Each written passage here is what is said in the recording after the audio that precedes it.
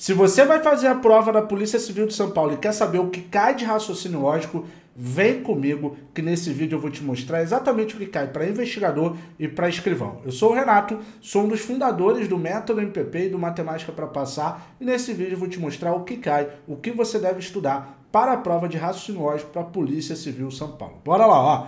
Primeira coisa que você precisa saber, família, os conteúdos de raciocínio lógico para investigador e escrivão são iguais. Os conteúdos, né, o que você deve estudar, tanto para investigador como para escrivão em raciocínio lógico, é a mesma coisa. Porque esses conteúdos são iguais. O que você tem que ficar ligado? Que na prova de investigador, nós temos 20 questões de raciocínio lógico.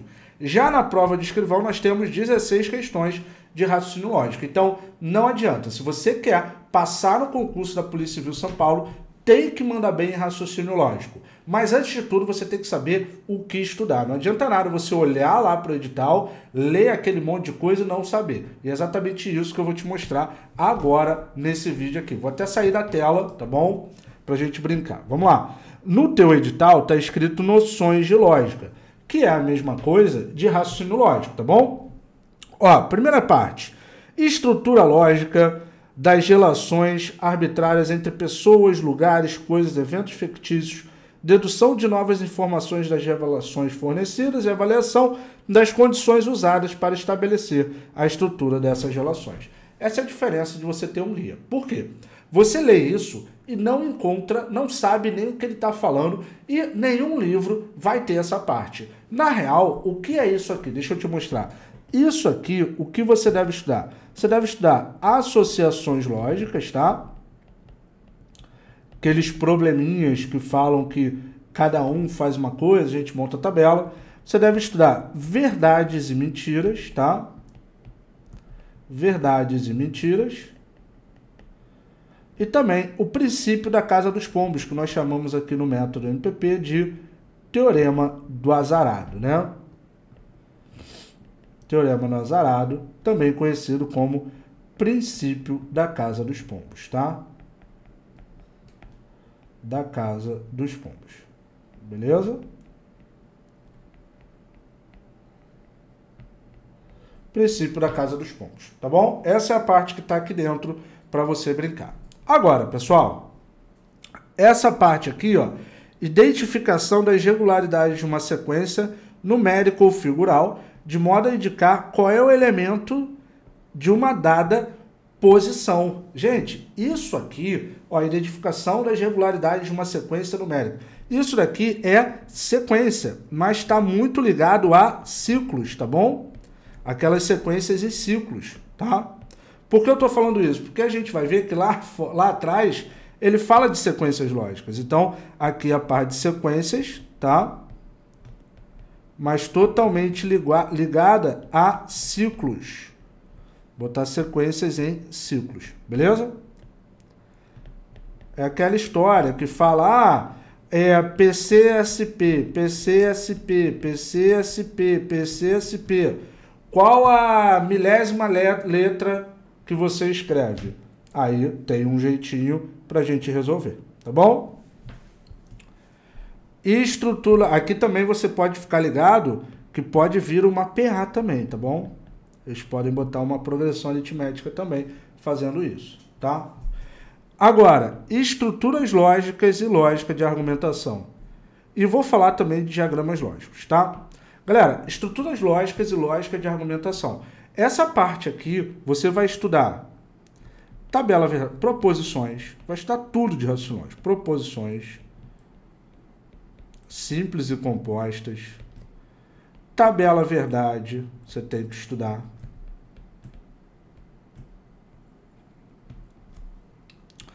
Tautologia, contradição.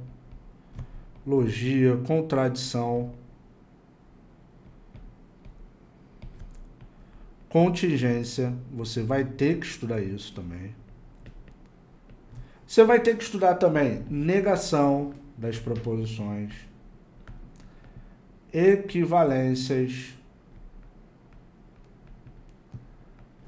Beleza?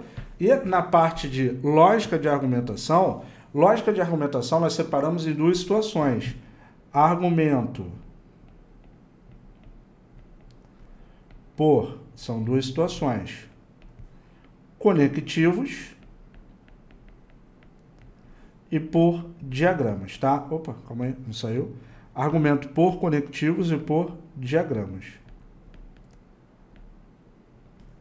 Argumento por conectivos e argumentos por diagramas. Tá legal? Argumento por conectivos e por diagramas. Que argumento por diagrama está diretamente ligado a diagrama lógico. Mas VUNESP, quando bota diagrama lógico, está ligado à parte de diagrama do argumento e também estudem conjuntos, porque eles cobram, tá bom? Conjuntos e os diagramas, os argumentos por diagramas, tá? Então, voltar aqui, você vai estudar conjuntos também e argumento por diagrama. Sequências lógicas, aí entra na parte. Por isso que eu afirmei para você que, aqui, olha o que está na primeira parte. Identificação das regularidades de uma sequência numérica ou figural, de modo a implicar, a indicar qual é o elemento de uma dada posição. Aqui, com certeza, vai ser sequência em ciclos, mas eles podem botar também uma PAzinha que está diretamente ligado. E o VUNESP gosta de cobrar esse tipo de questão. Sequências lógicas aí não tem jeito. É sequência, né? número, figura e letra. Beleza? Fica ligado nisso. Essa é a partezinha. Então vamos lá. O que, que você tem que fazer para estudar?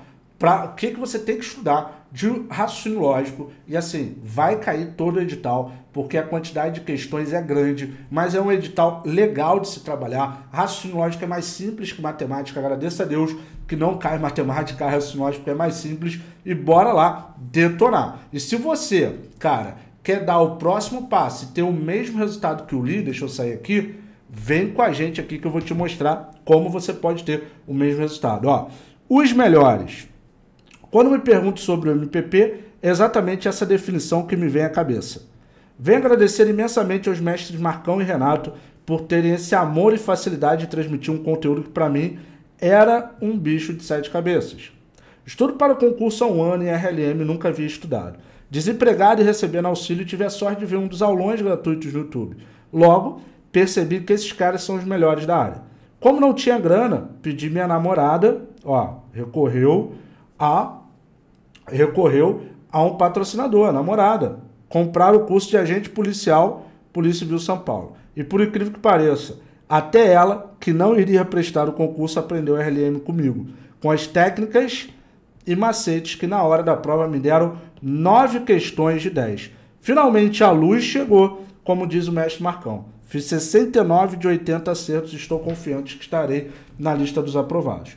Feliz por fazer parte da nação MPP e mais feliz ainda por tê-los conhecido a tempo. Gratidão, Li Sanson, aluno do grupo de 5% no curso para PC São Paulo. E tá aqui, ó, o Li aí, ó, o objetivo, o sonho, a realização, o preço. Ele mandou pra gente aí.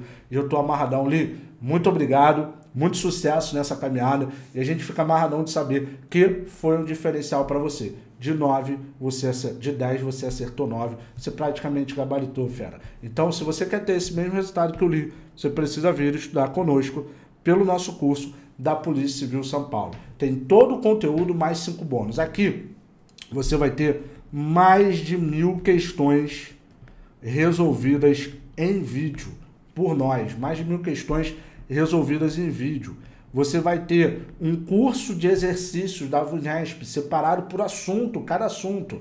Um CTP, Centro de Treinamento de Prova. A gente pega a prova na íntegra e resolve, resolve para você. Você vai ter tira dúvida, suporte ao aluno. Abaixo de cada aula tem um tira dúvida. Teve dúvida na aula, na questão da aula, pode mandar que a gente te responde. Você não vai estar sozinho. E é por isso que você precisa vir para cá. Por quê? Raciocínio lógico vai ter um peso importantíssimo nessa prova. E esse nosso curso aqui, ele te prepara tanto para a prova de investigador quanto para de escrivão. Por quê? Porque, como eu falei no início do vídeo, os conteúdos são os mesmos.